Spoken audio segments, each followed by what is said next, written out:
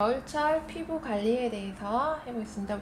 겨울에 찬바람이 많이 불면서 이제 각질도 많이 일어나고 화장도 잘 안 맞게 되는데 그것 때문에 이제 그 커피 찌꺼기를 이용해서 각질 제거도 해주고 또 나중에 크림 바를 때 보습작용이 있게 크림 바르는 것까지 알려드리겠습니다.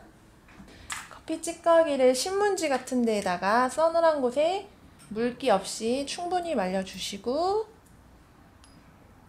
네, 이렇게 덜어주시고 여기에다가 이제 꿀. 물좀 바꾸셔서.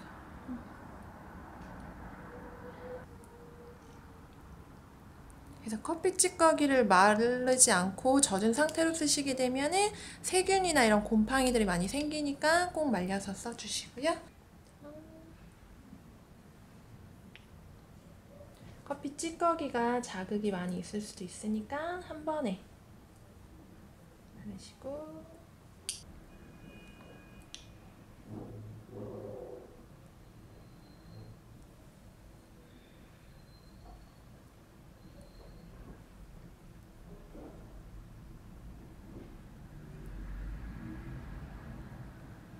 이 상태로 5분에서 10분 정도 기다리셨다가 이제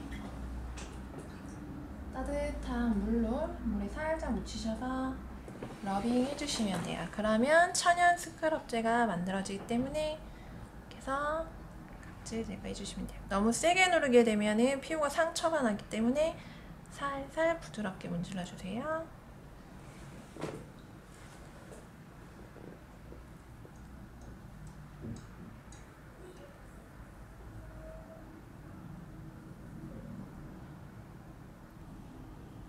커피 찌꺼기에는 지방 성분이 함유되어 있기 때문에 얘가 이제 각질 제거해주면서 이제 보습 작용까지 하기 때문에 살살 문질러 주시고 따뜻한 물로 세안 한번 해주시면 돼요. 각질 제거하시고 난 다음에 시간이 남으시면 팩 같은 거 해주시면 좋고 만약에 시간 팩할 시간이 없으시면 크림을 좀 꼼꼼히 바르시면 되는데 크림을 바르실 때 여러 개를 섞어 바르다 보면은 때처럼 밀리는 경우가 있어요. 그게 흡수가 되지 않아서 그럴 때는 각질 제거했을 때는 손바닥에 이렇게 펴 바르셔가지고 열을 좀 낸 다음에 밑에부터 끌어올리듯이 바르시면 돼요.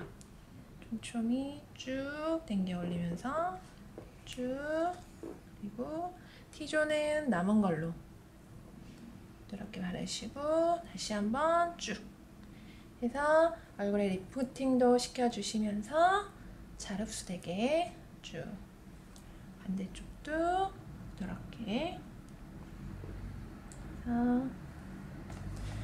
이렇게 듬뿍 바르시게 되면은 흡수가 그래도 좀 덜 된 것 같다 하시면 지압 조금 해주시면 돼요. 눈썹 앞머리, 중간, 끝에 그리고 관자놀이 앞에 주시고 그다음에 눈 앞머리 중앙 끝에 살짝 그리고 코 옆에 광대 쪽에도 이제 혈점이 다 있기 때문에 살짝 올리시면서 본인이 하실 때도 충분히 하실 수 있으니까 쭉쭉 올려주시면서 흡수시켜 주시면 돼요. 그러면은 피부에 금방 흡수가 잘 되실 거예요. 각질 제거까지 이미 다 했기 때문에 이렇게 해서 마무리 해 주시면 됩니다.